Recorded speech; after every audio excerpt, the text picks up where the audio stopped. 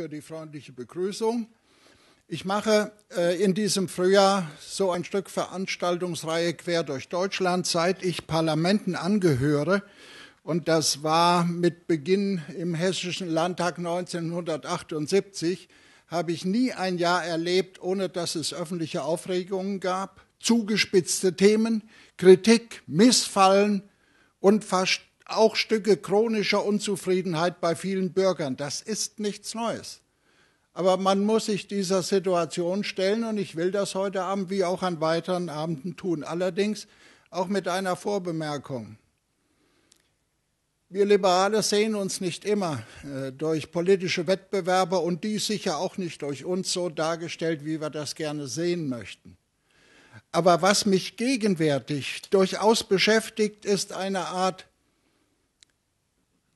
Aufregungsjournalismus in öffentlichen Medien. Sloterdijk sagt, äh, die sind mühelos in der Lage, jedermann zum öffentlichen Aufregungsdienst entlang des Montagebands der wöchentlichen Talkshow einzubestellen. Und hinterher sagen die Leute, ist denn das wirklich das Thema, über das wir uns hier so aufregen? Und dann rennt die öffentliche Meinung Sie erleben das auch, wenn Sie das genau beobachten, manchmal wie eine Hammelherde von der einen Ecke in die andere. Und was am Mittwoch das Thema ist, ist es längst nicht mehr am Freitag. Und die Komplexität von Verhältnissen geht verloren. Das Denken wird immer kürzer. Und viele Leute greifen dann nach vermeintlichen Wundermitteln in der politischen Apotheke, vergessen die Beipackzettel, lesen nicht die Verfallsdaten, ganz zu schweigen von den Nebenwirkungen. Ich drücke das einmal so aus. Sie einigen sich nur auf Folgendes in der letzten Zeit. Die neoliberale Verschwörung ist an allem schuld. Ich treffe gut ausgebildete Menschen, die mich ansprechen und sagen, so neoliberal muss es aber nun auch nicht zugehen. Sie wissen aber nicht, wer die Neoliberalen sind. Sie bemühen sich auch gar nicht darum. Sie plakatieren das. Sie dämonisieren Neoliberalismus. Und Sie merken das quer durch alle Öffentlichkeit. Ich will deshalb gleich mal zu Beginn eins klarstellen. Vor Ihnen steht hier so einer der bösen Neoliberalen. Und damit Geschichtsklitterung erst gar nicht wieder zur Sprache kommt, will ich auch sagen, wer das war. Das waren Friedrich Wilhelm Röpke, Friedrich August von Hayek, Ludwig von Mises und Franz Böhm, um nur einige zu nennen. Röpke verlor als erster seinen Lehrstuhl, als die Nazis kamen. Und Franz Böhm schrieb für den Widerstandskreis um Gördeler und Stauffenberg ein Kartellrecht. Das waren die Menschen, die die Schwächen der Marktwirtschaft genau kannten und die sagten, es müssen Spielregeln hinein, die beachtet werden müssen, an die sich alle zu halten haben. Eine unabhängige Zentralbank, ein Kartellrecht, das sich nicht Monopole entwickeln können. Sie waren genau das Gegenteil, für das sie heute denunziert werden. Aber keiner, der das so leichtfertig behauptet, hat das anscheinend jemals gelesen, sich damit beschäftigt. Es ist absurd, dass über den Neoliberalismus hergezogen wird, der genau das, was wir eigentlich, glaube ich, auch als Konsequenzen aus manchen marktwirtschaftlichen Entwicklungen sehen, der sich für Spielregeln und für Kontrolle einsetzte und immer dagegen war, dass eine Marktwirtschaft allein gelassen wird. Es war für die alle klar, dass der Staat Regeln setzen muss. Deshalb schreibt der Schweizer Schriftsteller Philipp Tingler in der neuen Züricher Zeitung neulich so eindrucksvoll, ich zitiere ihn einmal, ich werde nie verstehen, wie man den Liberalismus geringschätzen und seinen Niedergang herbeisehnen kann. Die Schlagworte marktradikal und neoliberal erinnern ihn in ihrer Selbstgerechtigkeit und Geistlosigkeit bisweilen an die Verachtung der Demokratie in der Endphase der Weimarer Republik. Und er fragt, kennt jemand, der diese Schlagworte benutzt, den Unterschied zwischen Liberalismus und Neoliberalismus? Wer das fragt, so schreibt er, erntet Schweigen. Die meisten dieser Kreuzritter gegen den vermeintlichen Neoliberalismus wissen gar nicht, was er bedeutet. Ich wiederhole das immer wieder. auch als Lafontaine noch im Deutschen Bundestag war und redete. Er konnte nie erklären, wer die Neoliberalen sind und was sie wollten. Aber er hat kräftig das Schlagwort zur Dämonisierung benutzt. Ich fordere hier nicht mehr ein, als ein Stück politische Kultur mit Begriffen so umzugehen, wie sie historisch auch stimmig sind.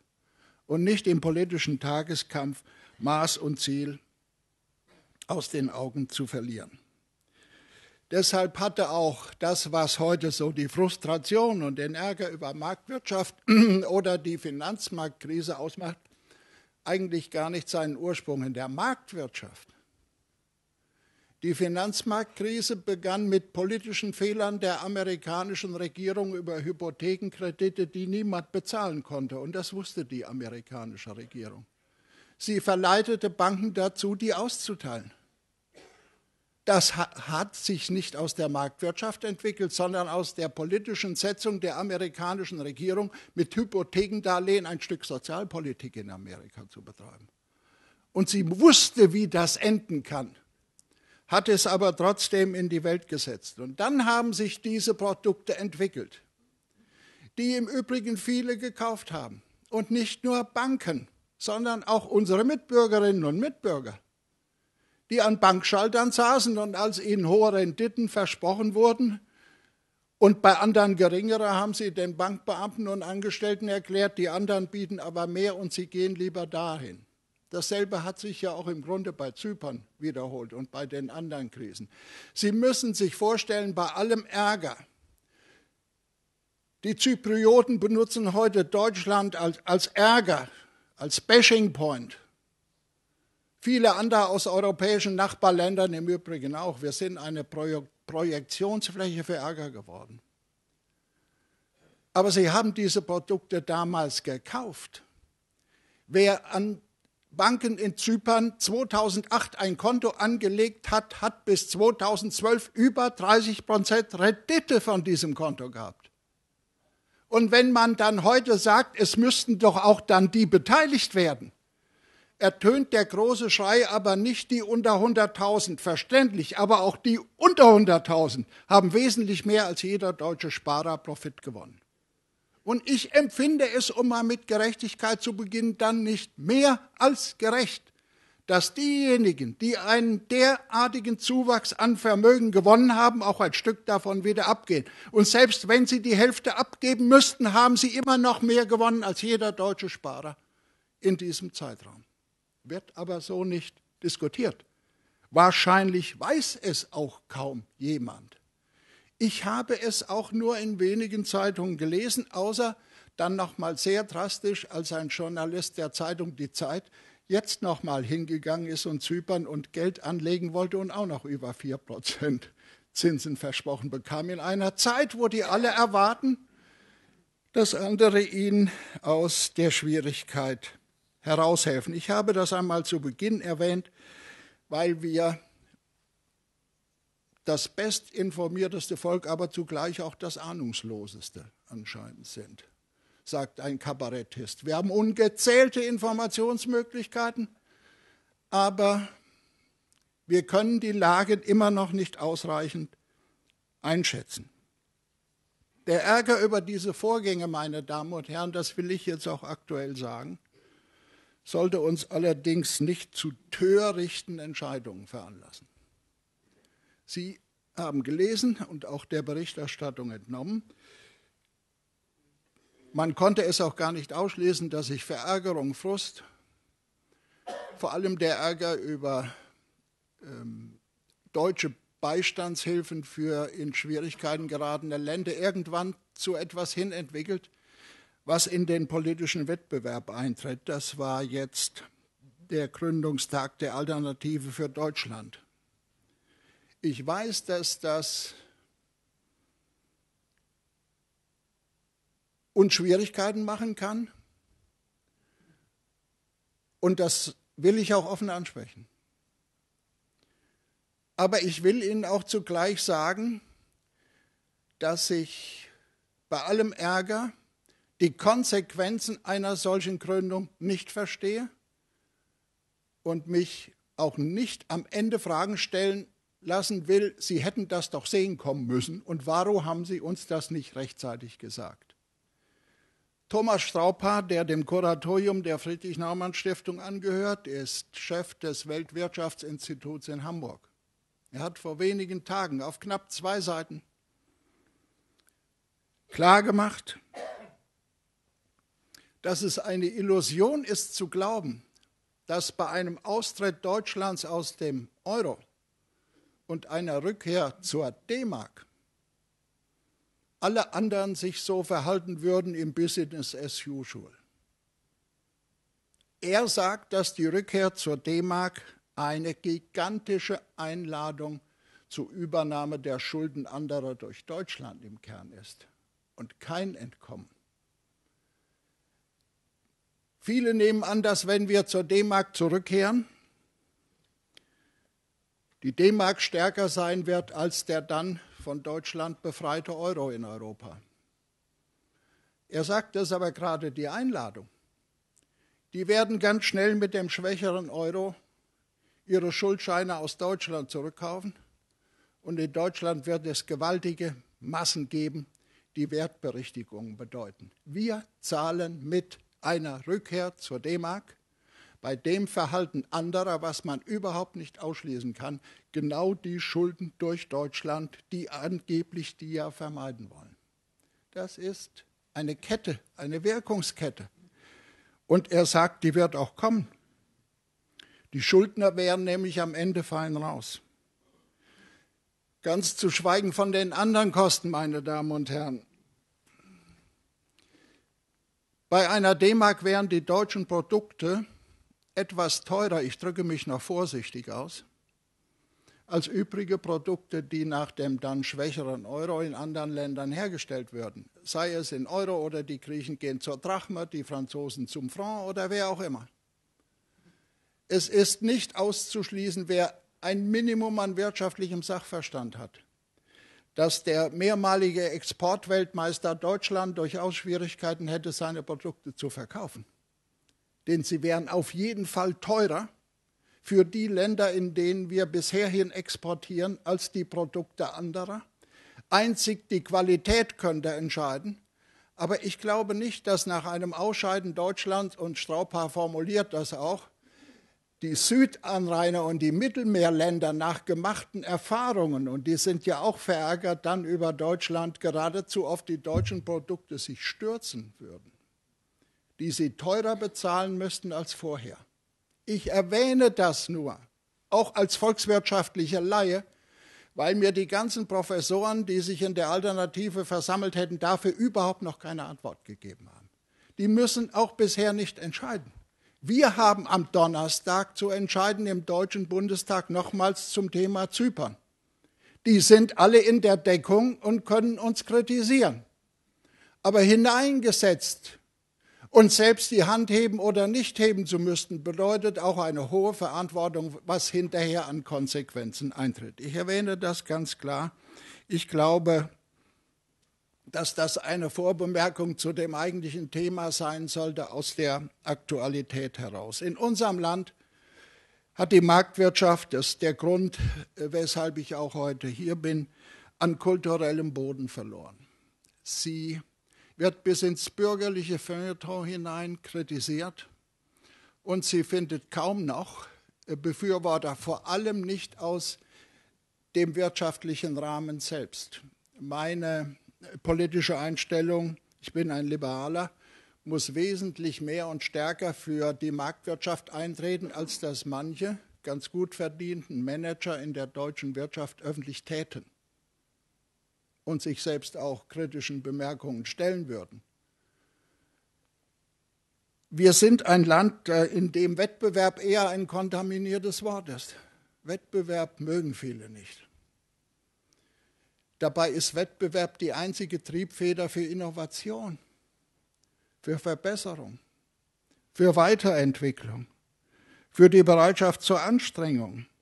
Douglas North, der ist Nobelpreisträger und Wirtschaftshistoriker, vertritt die These, dass die Gesellschaften, die wirtschaftlichen und gesellschaftlichen Wettbewerb als etwas ganz Normales ansehen, die erfolgreichen der Zukunft sein werden. Er hat recht.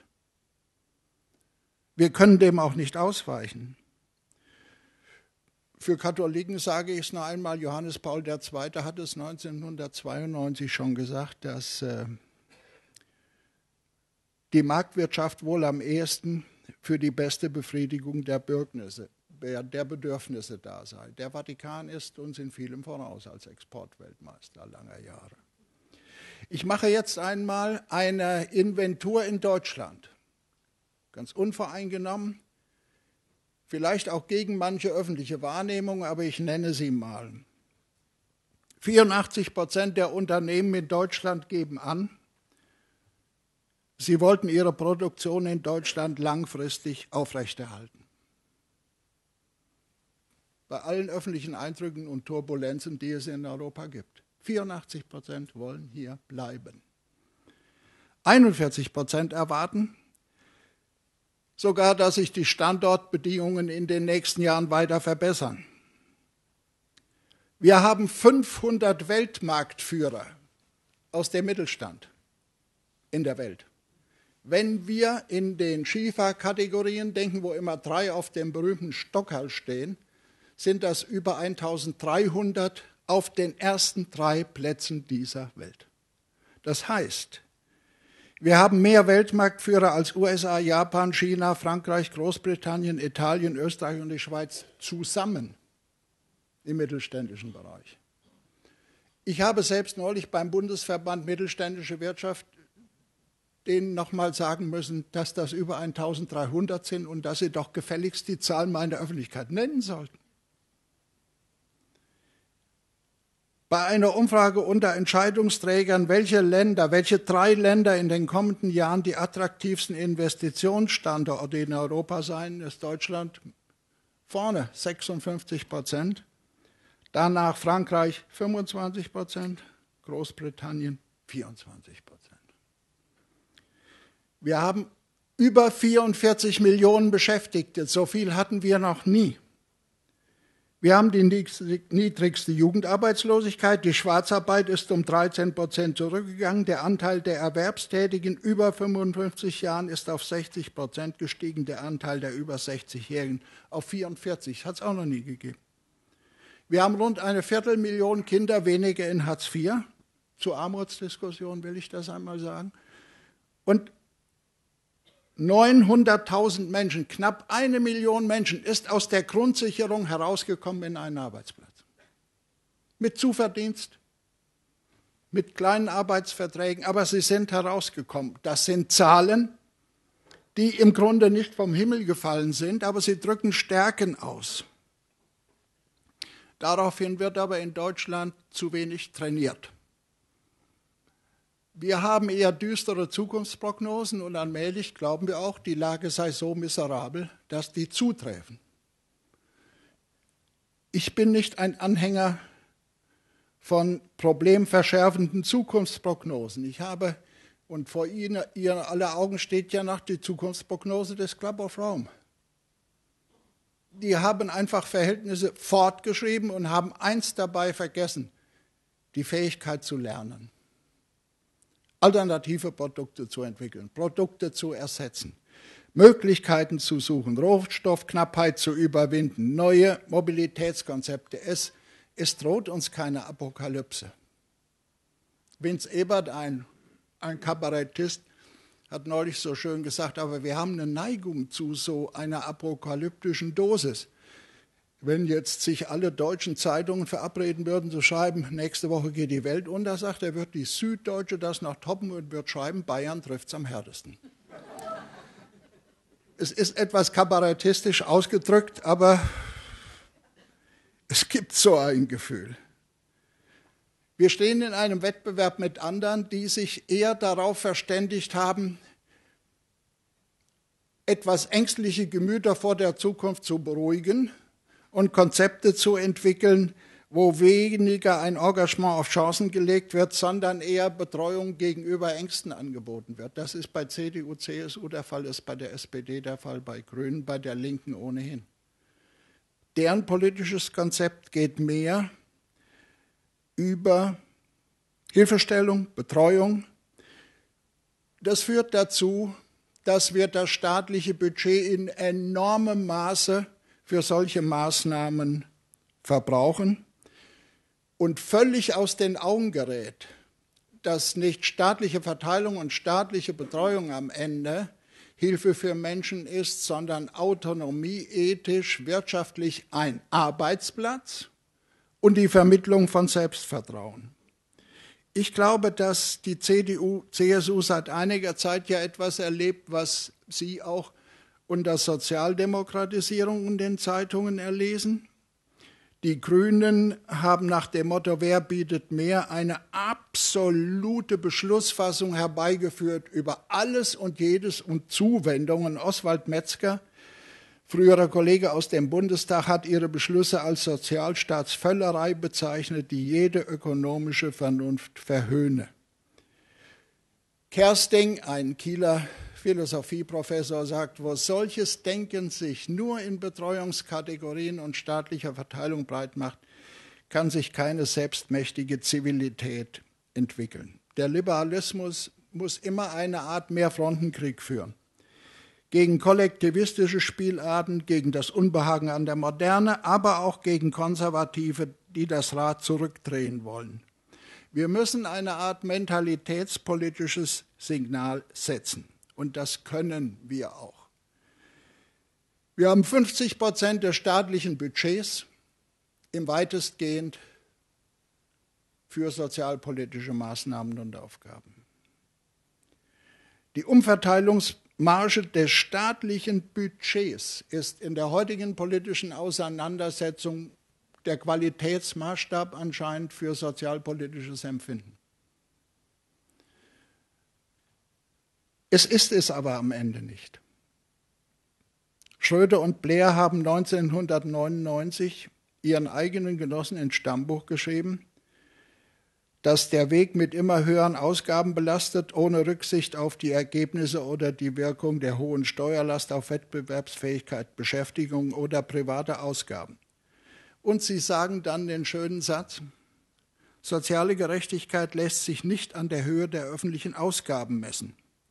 Der wirkliche Test für die Gesellschaft ist, wie effizient diese Ausgaben genutzt werden und inwieweit sie Menschen in die Lage versetzen, sich selbst zu helfen. Wenn ich das vortrage im Deutschen Bundestag, erhebt sich vom Rednerpult aus zehn links eine gewaltige Geräuschkulisse. Obwohl die beiden Herren doch aus dieser Sitzordnung in der politischen Geografie kommen. Wir sind der Überzeugung als Liberale, dass Transferleistungen unbedingt auch an eine überprüfbare Bereitschaft zur Selbstbeanspruchung gebunden werden sollten.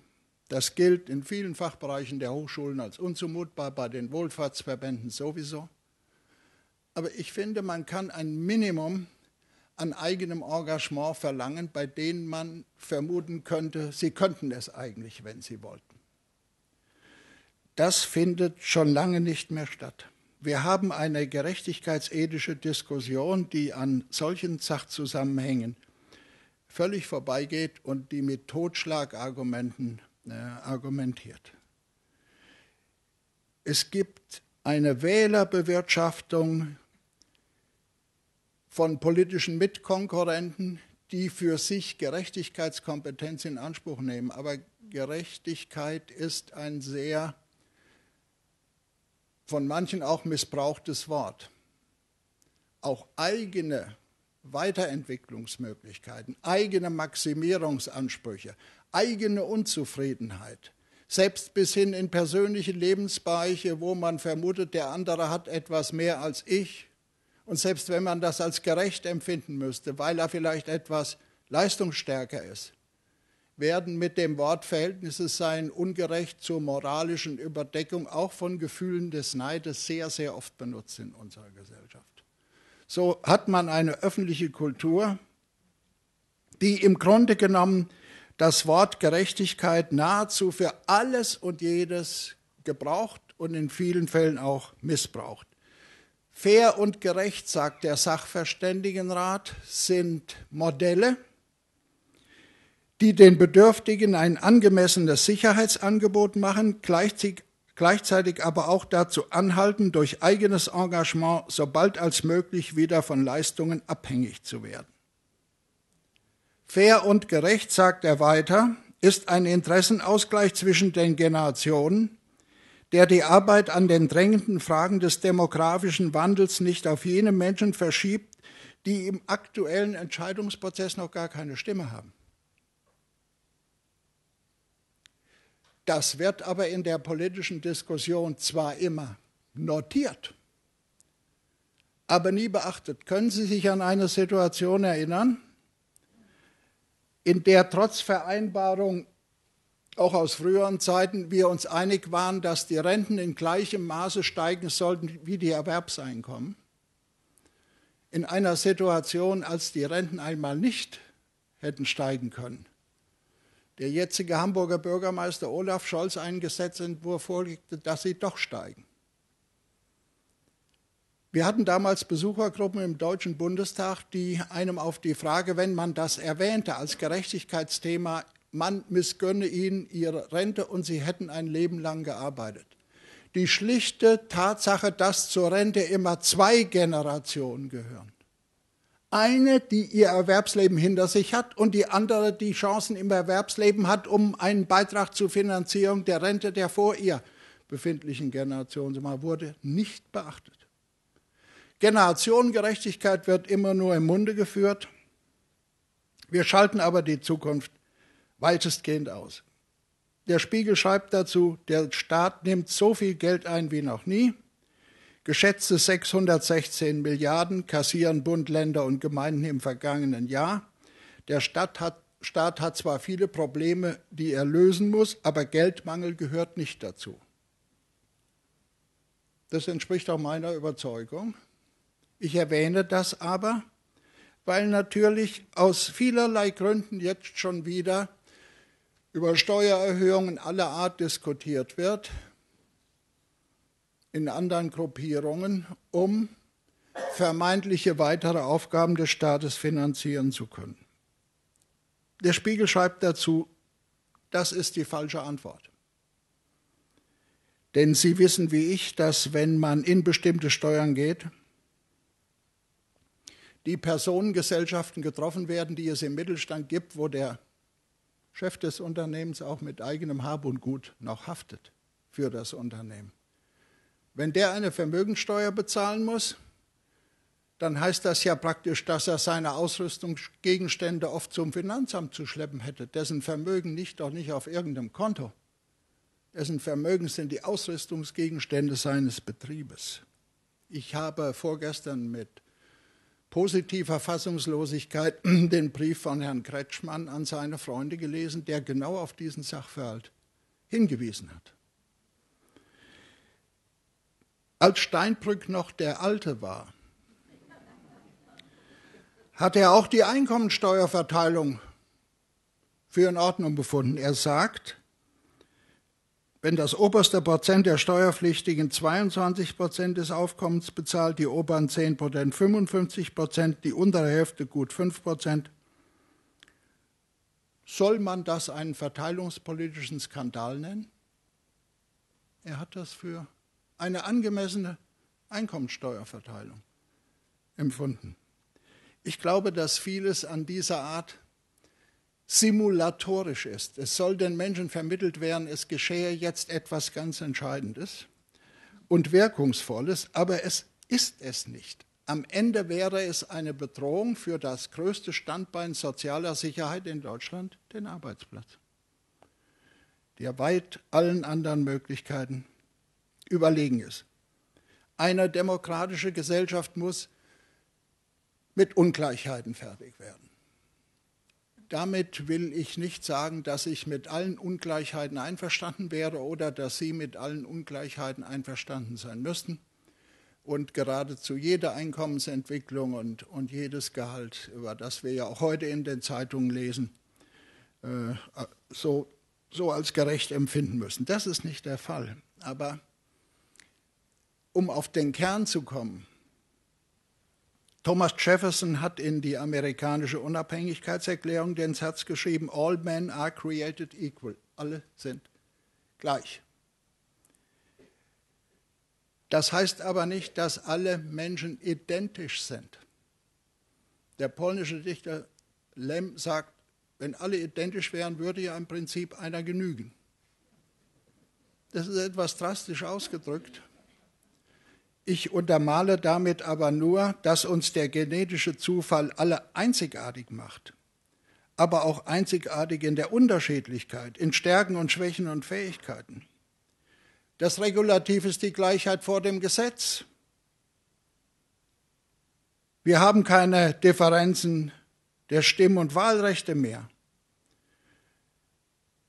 Wir haben die Hautfarbe menschenrechtlich irrelevant aus Gleichheitsgründen.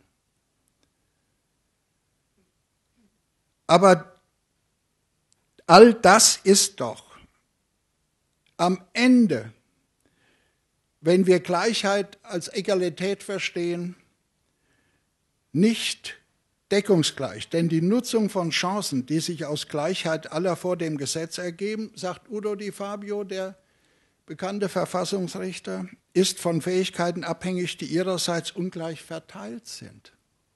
Die Natur ist ebenso ein großer Verteiler und keine Gleichheitspolitik des Sozialstaates kann eine Schöpfungskorrektur vornehmen. Wir sind unterschiedlich begabt.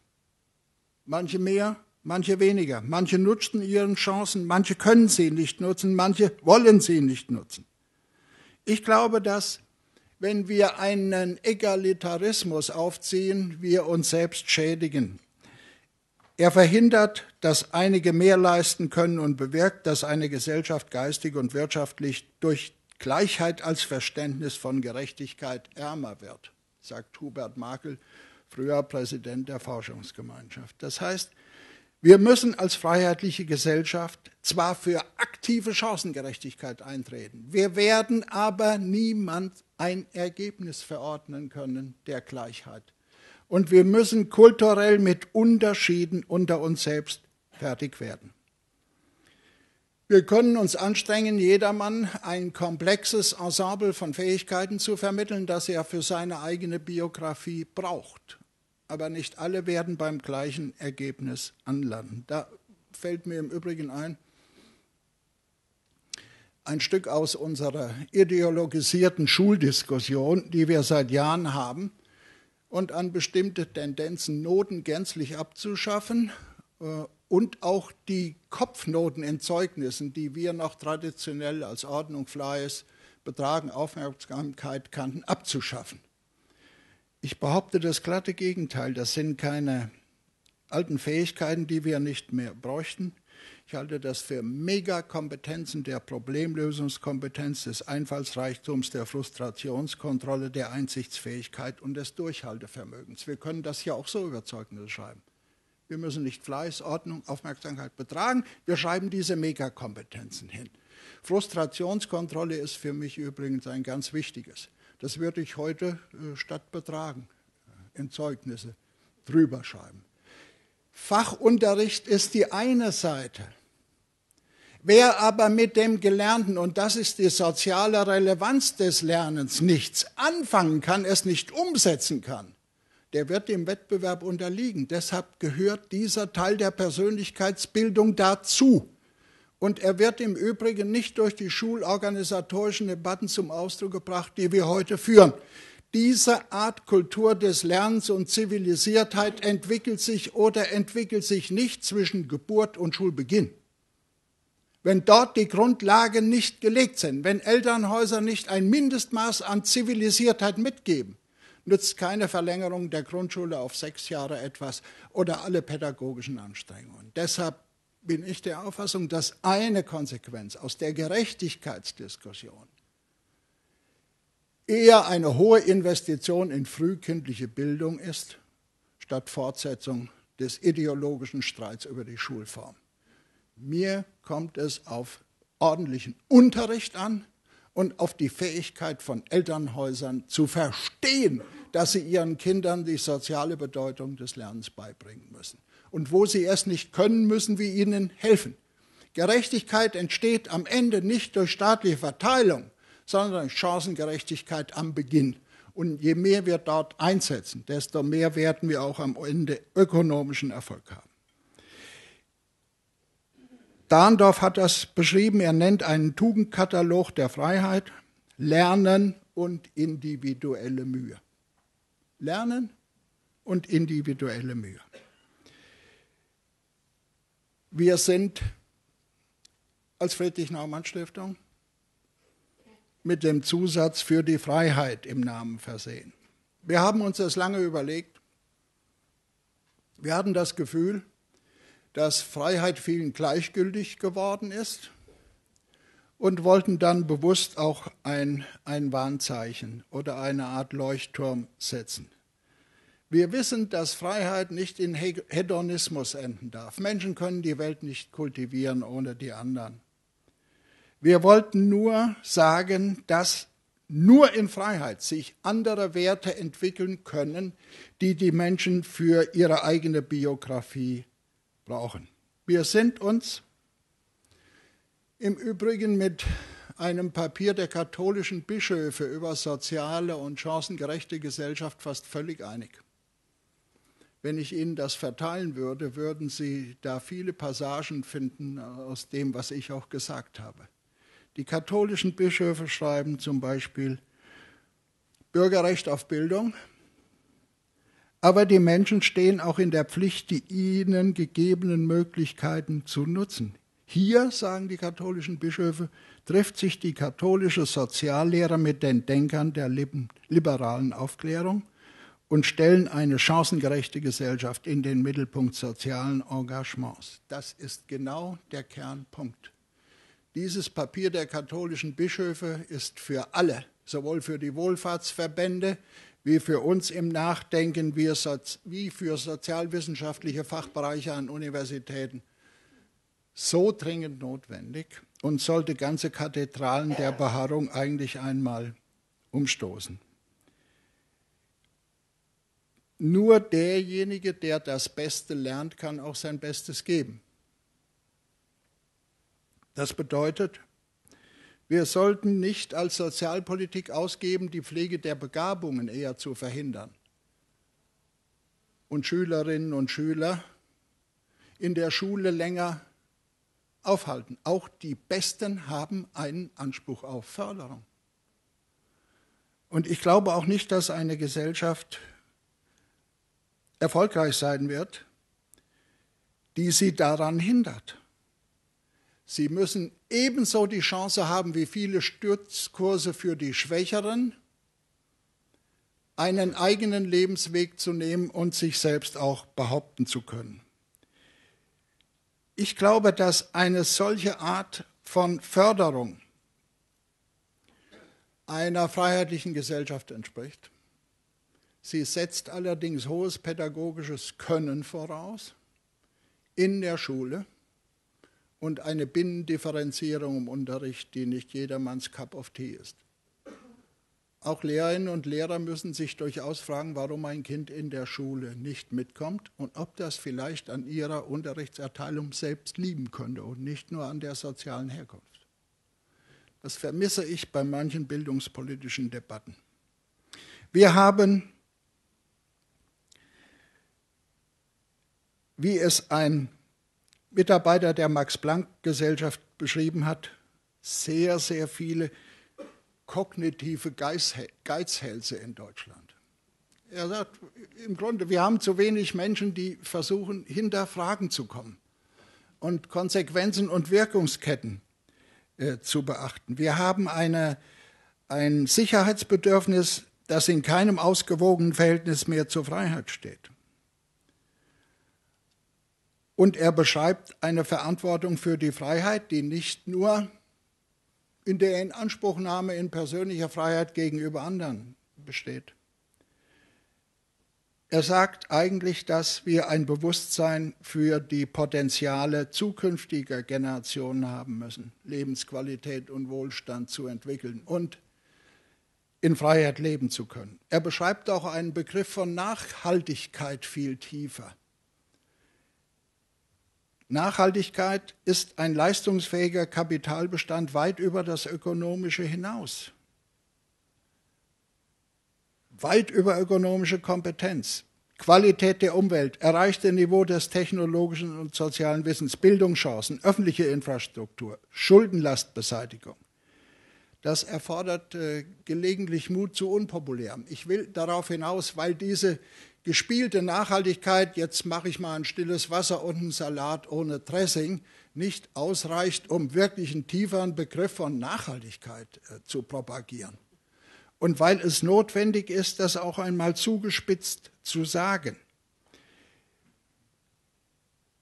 Die katholischen Bischöfe, um die wieder zu zitieren, sprechen an dieser Stelle von einer notwendigen und neuen Perspektive aus der westlich-abendländischen Moderne. Die Herren sagen allen Ernstes die Idee der Freiheit und beschreiben das als Perspektive für politisches Engagement. Ich hatte es schon erwähnt, dass ich davon ganz angetan war. Und ich glaube, dass äh, wir das auch engagiert zu vertreten haben.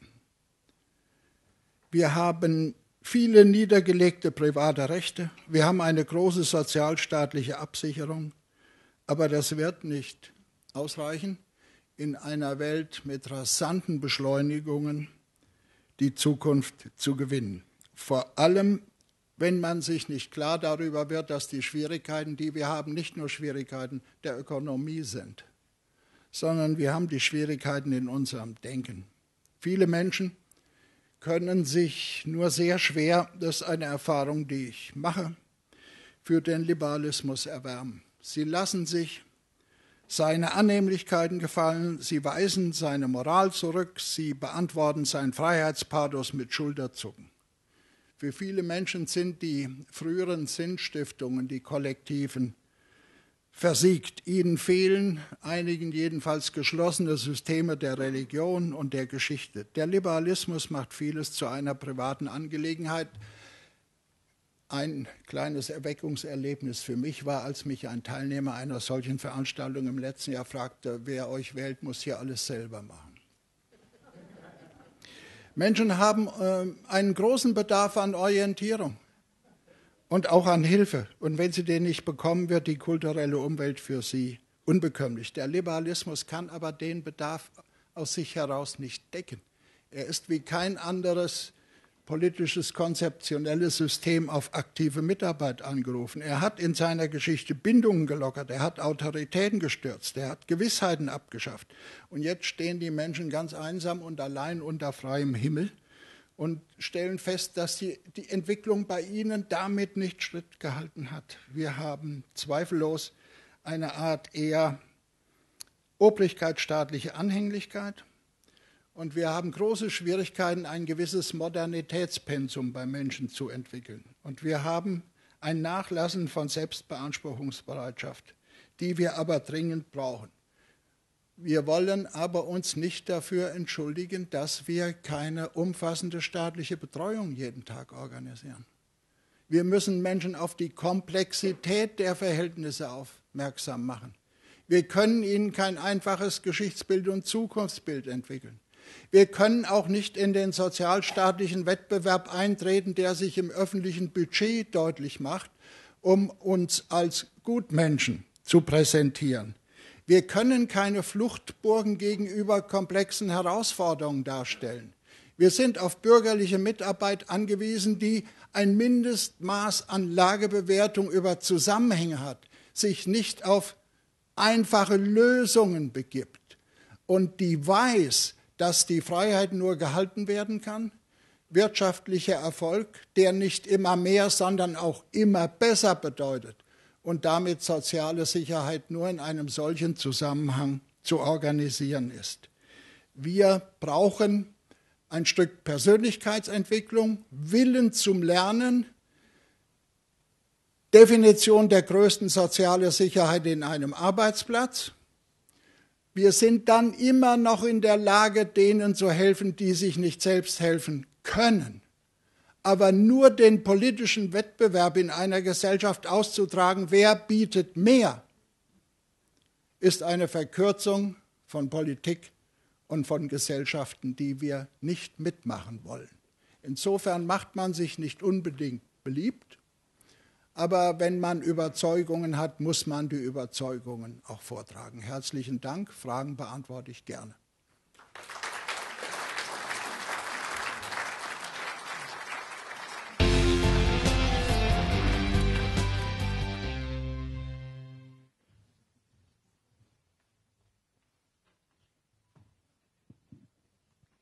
Ganz herzlichen Dank, Herr Gerhard, für diesen Vortrag und für das liberale Weltbild, das Sie uns präsentiert haben. Ich habe mich ehrlich gesagt ein bisschen gefragt, als Sie uns vorgestellt haben, die Umfragen und das Misstrauen, das